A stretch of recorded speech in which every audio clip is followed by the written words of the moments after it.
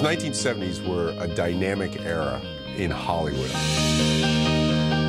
It was a wonderful time for American film directors. And I thought Universal had a particularly strong group of iconic filmmakers. And they were passionate about movies. Jaws, American Graffiti, Smokey and the Bandit, so many risky movies. There was a belief system at Universal where people just trusted and believed in each other. And good work got done because of that. It was extraordinary.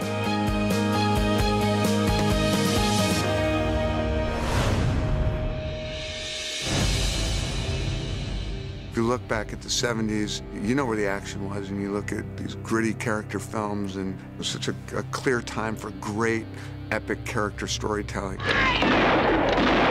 High Plains Drifter. It's fantastic. There's things like The Sting. It's a great story. It's a wonderful movie. It has that cinematic uh, rug pulling that, that happens. The Sting was Paul Newman and Robert Redford at their best the great Henry Gondorff. They have very different acting styles. You know, Newman it was very improvisational. Every take would be different. And so sometimes you could see Redford going like Paul, just say the lines. Those two guys together, that chemistry is unbelievable. And it's a kind of chemistry that everybody is still trying to get. Seems worthwhile, doesn't it? And we talk about great screenplays. They don't get any better than The Sting in terms of little things that are set up and places where they reverse things on you. And it's just wonderful. It took me about six months to write the first draft, but when I got the idea about the fake FBI, that's when it all sort of came together, and I knew, ah, I can sting the audience as well. So that was part of the fun of it.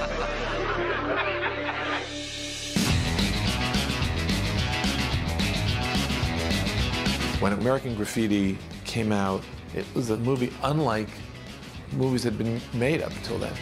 It had no movie stars, it wasn't a musical, but it almost moved like a musical. One thing you notice is the amazing pace of it. Like you feel like you want to go out cruising with these people all night. Hey, you want to bomb around? I want to try out my new wheel. But when you look at it carefully, you realize that you're following a bunch of plots. And like any great ensemble movie, it's all woven together and everybody has an arc. They have heart. I just saw a vision. I saw a goddess. Come on, you gotta catch up to her. I think what was really special about American Graffiti was 1973 was a really tough time in America. We'd survived two Kennedy assassinations, Martin Luther King assassination, the Vietnam War, the Civil Rights Movement. And American Graffiti transported us back to a time of innocence and when things were good in America. And it gave us a romantic moment to feel good about the country.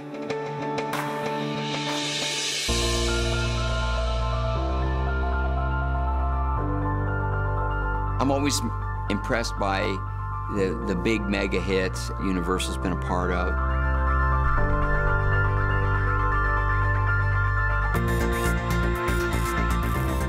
Also some great comedy has come out of out of that company.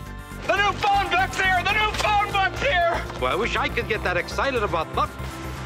Things are going to start happening to me now. The Jerk was one of the most important movies of my entire childhood. I was a gigantic Steve Martin fan. And then when The Jerk comes out... Marie! Marie! And he made the perfect movie that captured his sense of humor. Would it be too much if I asked for a kiss? No. There are so many great lines in The Jerk. The new phone books are here. Die, gas pumper. Die, gas pumper! You try and say that without laughing. I don't need anything except this.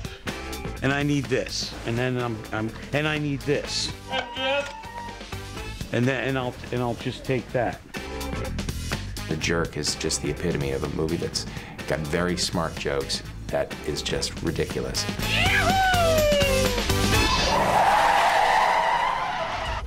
Sorry, I don't want to get married. That makes two of us. One of the reasons that Smokey worked so well was Jackie Gleason. Oh, multiplied. And 80% of what he said in Smokey and the Bandit, he wrote. I mean, he came up with some of the damnedest ideas that were great. Do you know who you're talking to? I happen to be Buford T. Justice. He kind of captures the American sensibility of what Southern justice really was like, and you could tell he's having fun.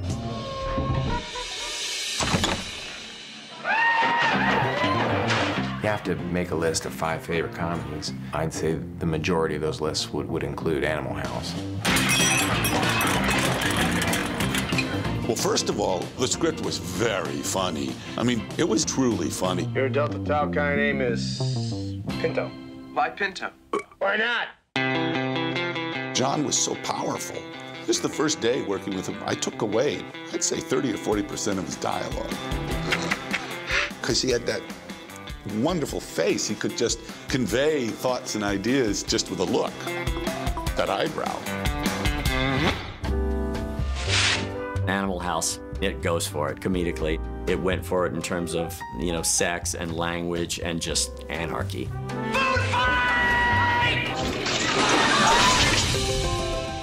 But it had a different way of looking at what is the leading man and hero in a movie. And in Animal House, they said, What about the slobs? And, you know, the average person looking at that will say, Yeah, that's me and my friends.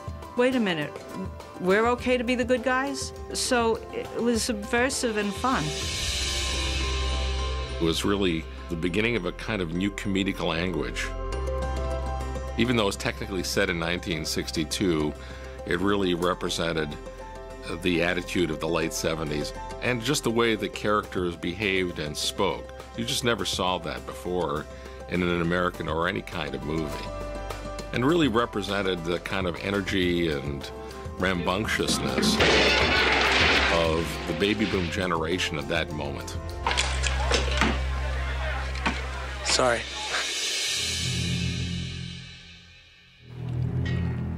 When I was growing up, we spent part of our time in New York City and part of our time in Sag Harbor, which is a small seaside town. We lived on a boat.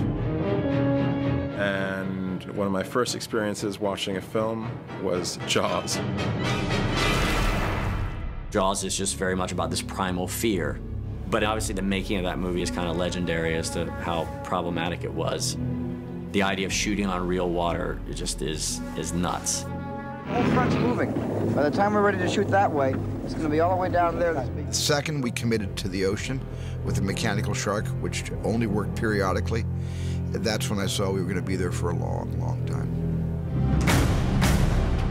We would be at sea and not get a single shot.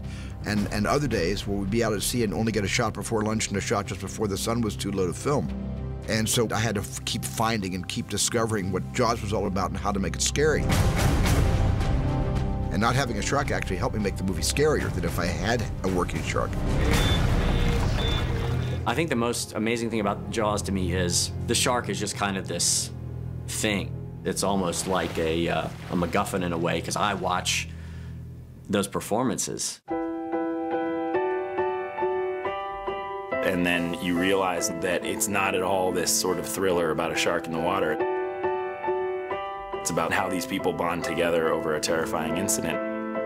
And then, you know, it transitions into a movie about bonding and brotherhood. It's very rare. You ever have one do this before? No. It was the first movie that was the great worldwide event. This thing was just showing and showing and showing. It changed cinema.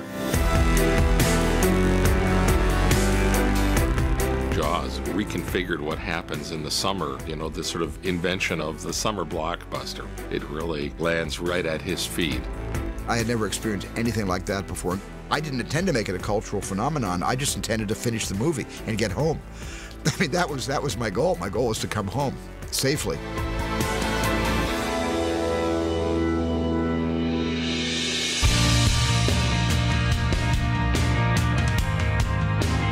In hindsight, I can see that I was making pictures in Hollywood system at an amazingly fertile time.